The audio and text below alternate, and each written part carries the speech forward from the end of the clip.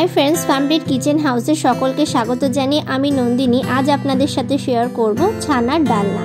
খুবই কম উপকরণ দিয়ে সম্পূর্ণ নিরামিষ এই রান্নাটি খুব সহজে কীভাবে তৈরি করে নেওয়া যায় আর সেটি আমি আপনাদের সাথে শেয়ার করব।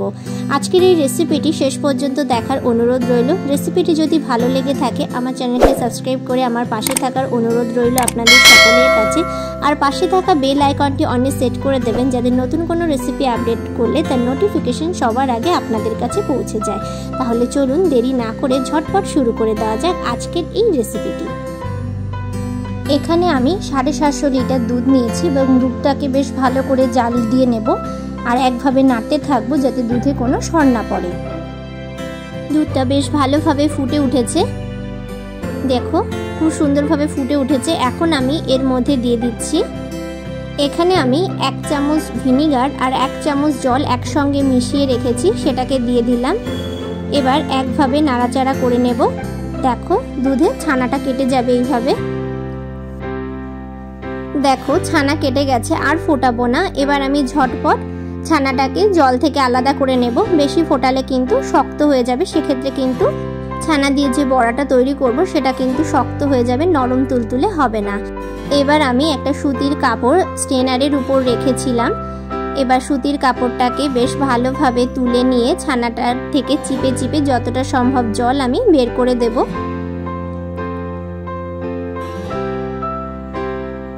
এভাবে চিপে চিপে বের করে দিচ্ছি। তাছাড়া যদি হাতে সময় থাকে, সেক্ষেত্রে একটু ঝুলিয়েও রাখতে পারেন। সেক্ষেত্রেও ছানার থেকে অতিরিক্ত জলটা বেরিয়ে যাবে। ভালোভাবে জল ঝরিয়ে নেওয়ার পর ছানাটাকে আমি একটা প্লেটের উপর নিয়ে নিয়েছি। এর মধ্যে দিয়ে দিচ্ছি দু চামচ ময়দা।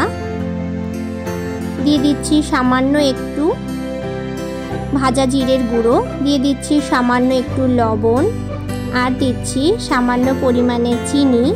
এবার একসাথে ছানার সাথে এই উপকরণগুলোকে ডলে ডলে মেখে নেব।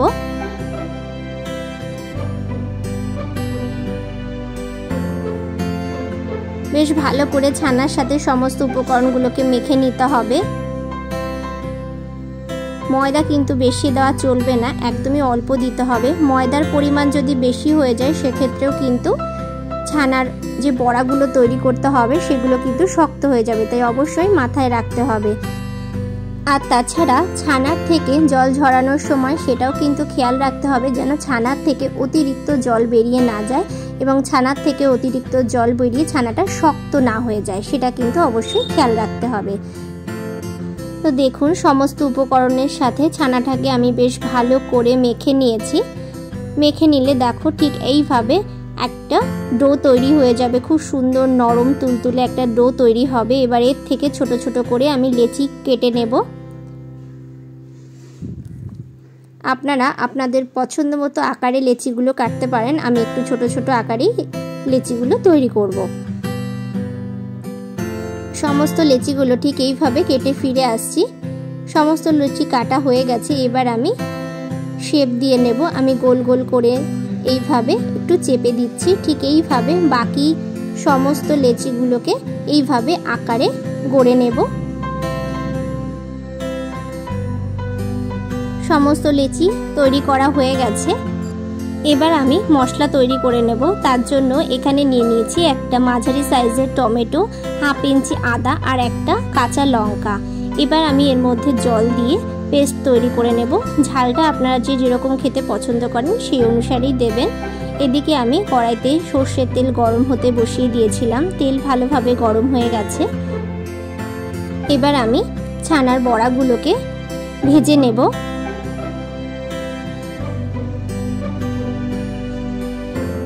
বেশি ভাজবো না, জাস্ট এপিট ওপিট করে বড়াগুলোকে একটু লাল লাল করে ভেজে নেব। গ্যাসের ফ্লেমটাকে আমি মিডিয়াম ফ্লেমেই রেখেছি। এইভাবে উল্টে পাল্টে আমি বড়াগুলোকে একটু লাল লাল করে ভেজে নেব। দেখুন, বড়াগুলো ভেজে না হয়ে গেছে। এবার আমি বড়াগুলোকে তুলে নেব আর বাকি বড়াগুলোকেও ঠিক একইভাবে ভেজে আমি ফিরে আসছি।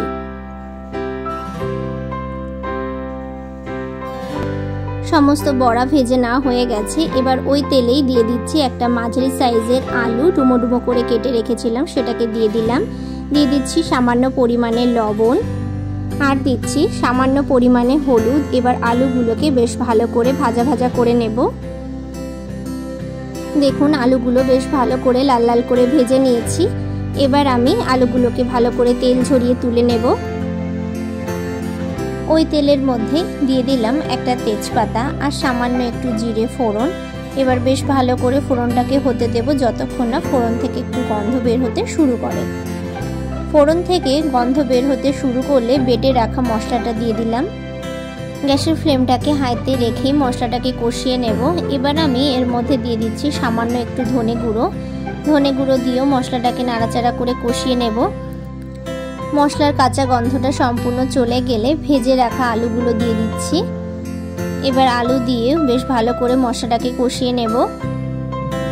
মশলার বাটি ধুয়ে সামান্য একটু জল দিয়ে দিলাম। ভালো করে মশলার সাথে আলুটাকে কষিয়ে নেওয়ার পর পরিমাণ মতো জল আমি এখানে ব্যবহার করলাম। ভালো করে নাড়াচাড়া করে মিশিয়ে নেব। গ্যাসের ফ্লেমটাকে লোতে করে এবার আমি ঢাকা দিয়ে রান্না হতে দেব যতক্ষণ না আলুটা সেদ্ধ হয়ে যায়। আলুটা ভালোভাবে সেদ্ধ হয়ে গেলে এর মধ্যে দিয়ে দিলাম পরিমাণ মতো লবণ, পরিমাণ মতো চিনি। এবার ভেজে রাখা ছানার কোপ্তাগুলো দিয়ে দিচ্ছি। ভালো করে নাড়াচাড়া করে মিশিয়ে দেব। ভালো করে নাড়াচাড়া করে মিশিয়ে দিয়ে এর মধ্যে ভাজা মশলা দিয়ে দিলাম এক চামচ। এই ভাজা মশলার রেসিপি অলরেডি চ্যানেলে আপলোড করা আছে। আপনারা যদি কেউ দেখতে চান ডিসক্রিপশানে এর লিঙ্ক দেওয়া আছে, আপনারা দেখে নিতে পারেন।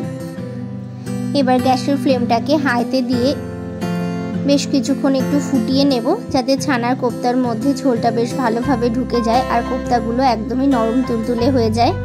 আমি একটু হালকা পাতলাভাবেই এই রেসিপিটি আপনাদের তৈরি করে দেখালাম। আপনারাও বাড়িতে এই রেসিপিটি ঠিক এইভাবে তৈরি করে দেখতে পারেন। আশা করছি আপনাদেরও ভীষণ ভালো লাগবে। ছানার ডালনা একদমই তৈরি হয়ে গেছে সার্ভের জন্য। এবার আমি সার্ভ করে দেব। আপনারাও এই রেসিপিটি বাড়িতে ঠিক এইভাবে ট্রাই করে আমাকে কমেন্ট করে জানাতে ভুলবেন না যে আপনাদের কেমন লাগল। আজকের রেসিপিটি যদি ভালো লেগে থাকে লাইক করবেন শেয়ার করবেন। সকলে ভালো থাকুন, সুস্থ থাকুন, এই কামনা করে এখানেই শেষ করছি। ভিডিওটি শেষ পর্যন্ত দেখার জন্য অসংখ্য ধন্যবাদ।